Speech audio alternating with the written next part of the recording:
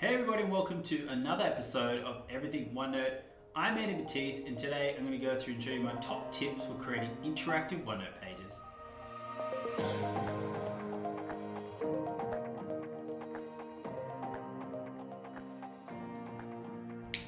Alright, let's get straight into it. But today, don't forget, if you like the content Richard and I put out, don't forget to like and subscribe and hit that little bell button so you're going to get notified every time we bring out new content. Creating interactive OneNote pages. So this is something that I like to challenge myself to do a lot, is trying to find different ways I can make my pages more engaging, more interactive, more interesting for the students in how they're actually working or answering questions. So my first one is incorporating tags or the to-do list.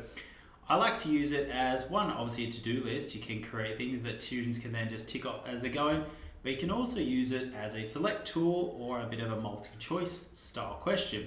So this is an example where the students had to identify what dinosaur they're using. And I had to select the classification for that dinosaur. Find find opportunities where your students can click on things so number two is trying to incorporate drag and drop activities. Being able to get the students to physically pick up an image or an object on your page and move it into another image or object on your page. In this example, we're asking the students to fill a jar with $2.70. So these are all just images I've taken from Google and they can just pick it up and they can drag it into the jar.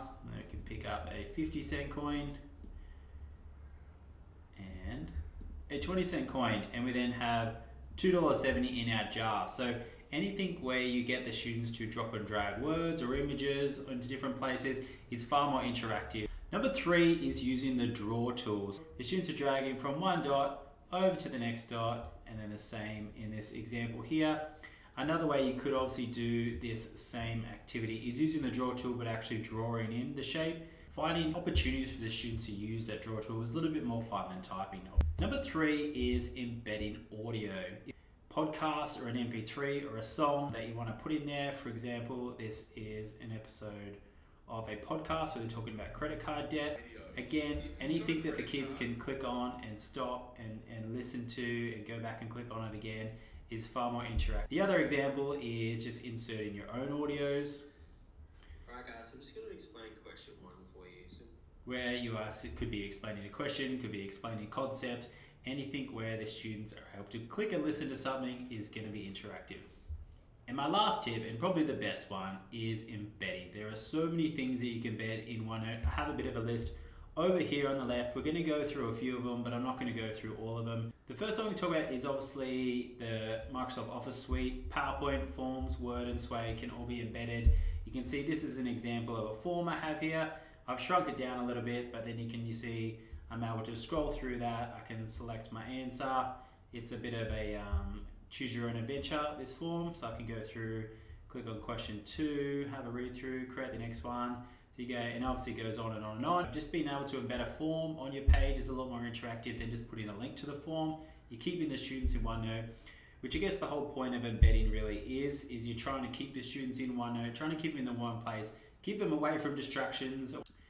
The next one we talk about is Giphy. Now, it can just be a bit of fun, but Giphy also have a few interesting Giphies that are factual and have some key information, could be specific to what you're learning about. For example, I often teach personal finance and we talk about credit cards, so I often put this one in and around that page. Very simple to embed, it's just a matter of simply going to giphy.com, finding the Giphy you actually want, hitting that share button, copy the link, heading back to your OneNote page, paste it in, and then that Giphy is then going to embed on the page. You do have to hit play every time, reload that page, but you know the kids get the fun of again the interactivity of being able to click on that image and see that image just continually loop over and over on your page is far more engaging and interactive than just a still image. And the next one I'm going to talk about is Quizlet. So Quizlet obviously is a website where you can create your key sets of terms for a unit or a topic or subject and create some, um, it automatically creates some games that the students can go in and study. But being able to embed this straight into OneNote is really, really cool because it embeds almost the same experience you get on the website. It's a matter of going to the website, copying and pasting your URL, heading back to OneNote and pasting it, and then that's going to embed in there below. And then simply drag that to the size that you want. But it's pretty cool. It gives you, obviously, they can click through the flashcards. They can choose their study mode if they want to go into the matching, things like this. All right, so the students have that opportunity to really go in, or if they have any spare time, you don't have to send them off to Quizlet or website. They can go to that certain page in your OneNote and just revise and just go over those key terms and play some of those fun games. Next one is Desmos, and this is something that I guess is going to be more used for your mathematics style subjects. But this is an example of a parabola, but you can embed this straight into OneNote. And again, let's head over to our parabolas.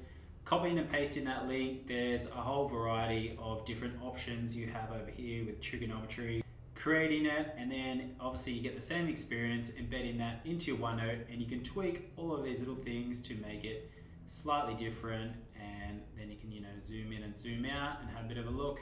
Get rid of that little sidebar. Yeah, a really cool and interactive way to create um, parabolas and some of those different activities you have mathematics related. The next one is Spotify, and this is one that I only recently learned. So you can actually embed a song into OneNote, you can embed a whole playlist into OneNote. Now, it will play in your OneNote as well. It doesn't give you the full song, it just gives you, I guess, a bit of a preview of that song, but you can go through and click on all of the other songs and play them through. Um, but another cool one is obviously Spotify has a lot of podcasts and things. So there's this really interesting podcast on Microsoft Education by a couple of guys that is really passionate about this sort of stuff. But you see the difference of the song, it will play the full podcast. So the students can, anything that's relevant to what you're talking about, something that students can click on, they can listen to, they can pause, rewind, come back to it. Maybe you're teaching, teaching psychology and you want to put a bit of Tony Robbins on, the students can click on and play. And again, super interactive and a really cool way to add another layer, another level of engagement into your pages. And for Spotify, same as the others, it's just a matter of copying and pasting the link. So hitting the three dots, sharing, copying the album link, and then pasting that straight into your OneNote page. The next one is a website called Sketchfab. So they create some 3D models and some visual videos and things like this. So you can see this is an example of a body weight push-up. Um, and you can see it gives a nice looping video in embeds, but it's also fully interactive. I can move that around. I can move it upside down. I can get a whole different array of angles right there on the page. The website Sketchfab, there's a whole different array of things out there. So go and have a look and see if there's anything relevant to what you're teaching or talking about. Matter of copying and pasting that URL back to our OneNote and watching that load and then resizing. Give it a play. And the last one I'm going to talk about is ThingLink. Now this one is really, really cool. So I guess being able to not just put an image of the Amazon rainforest here, but you can see we have a 360 image of the Amazon rainforest. It does automatically move and start playing, but the students and yourself have the interactivity of being able to click that and they can drag it up. They can look at whatever it is up in the canopies. They can look down on the ground. They can turn around behind them. So fully interactable, so much cooler than just putting a still image in there. Uh, if you're studying the Amazon, or it could be volcanoes in Antarctica, same experience, very, very cool. Being able to sit, click on it, have a play around, and the students can just have their own free will to go where they want with that image. Another cool website, again, where you can find lots of different stuff in there. So go in and have a look at ThingLink. And if you want to learn a bit more about embedding, Mike Tholfsen does have a video that gives you an ultimate guide to embedding. If you want to add a bit more engagement into your pages with some of these tips on how to create a bit more interactive. View. Thanks for watching. Ciao.